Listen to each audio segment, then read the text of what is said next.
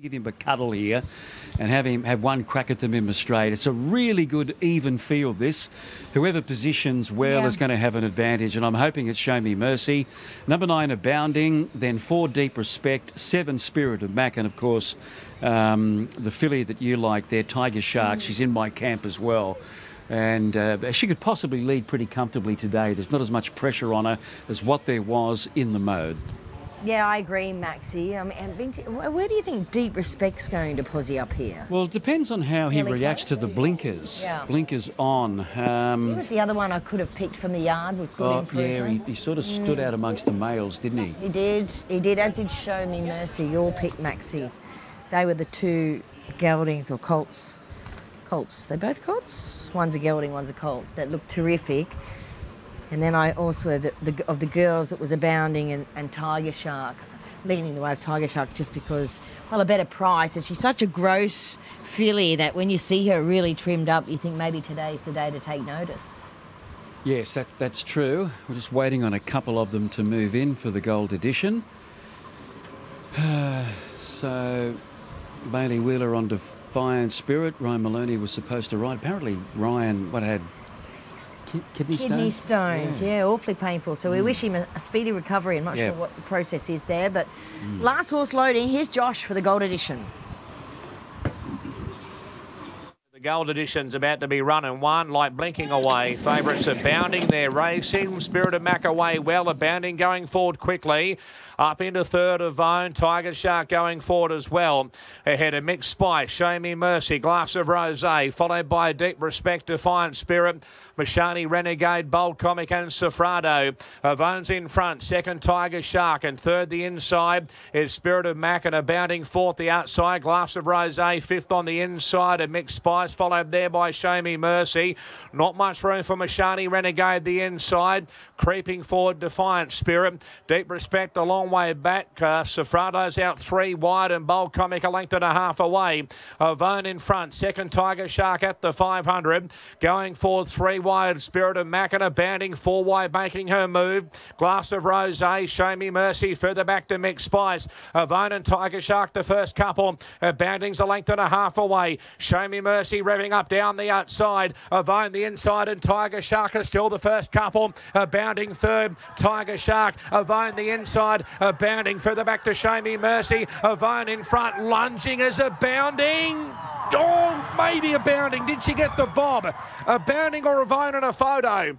Third will be Show Me Mercy, followed by Bold Comic, Spirit of Mac, Tiger Shark, Safrado, Glass of Rosé, Deep Respect, Defiant Spirit, Mixed Spice and Mashani Renegade. Yes, Abounding. Abounding has won from Avone Yes, and Josh, uh, she's got a nose down on the line and uh, deserving victory to abounding.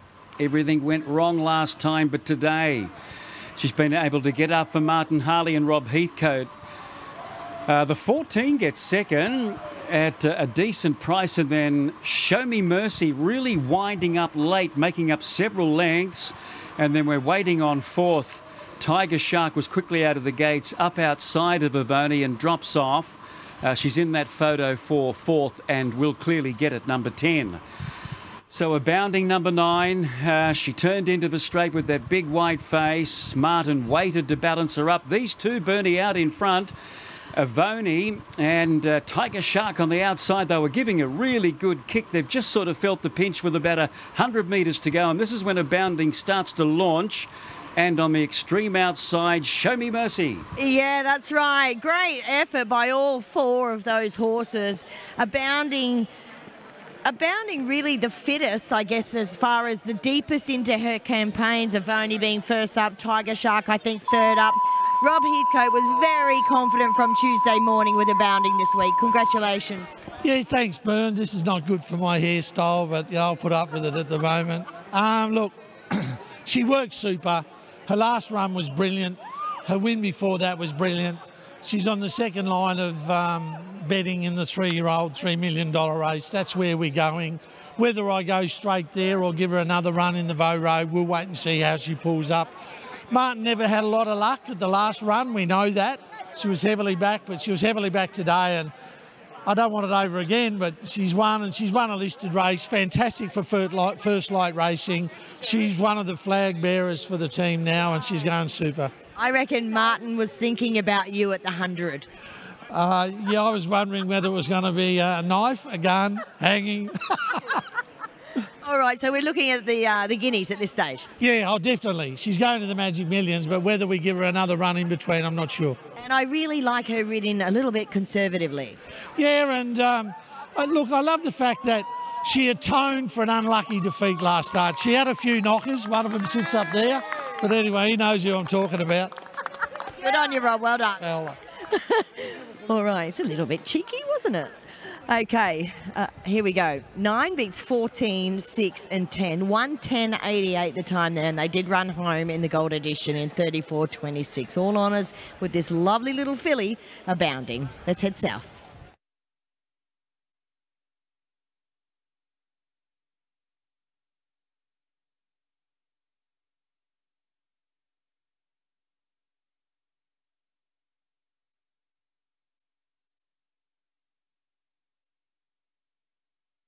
Let's have a chat now with Irish jockey Martin Harley. He took out the gold edition here, Martin, on Abounding. What a brave effort. Every time you asked this little lady for something more, she gave it. Yeah, for sure. Um, I was a bit worried when the rain started to come down. Even though she's won on a soft track before, she's uh, much better on a firmer track. But today it didn't get too bad, not as bad as Doomben the last day. Um, but by God, she was gutsy. She found everywhere, everywhere. Every time I've asked her, she just kept finding. Big help when you've got a few horses sort of really letting down at the top of the straight because it's a long run home, isn't it? Yeah, for sure. I thought it was 200 metres left to run when they started to peel off the rail. I forgot it was a 600 metre straight. But anyway, um, she got to the outside, you know, a fresh bit of ground and quickened up real well. Well done. Thank you.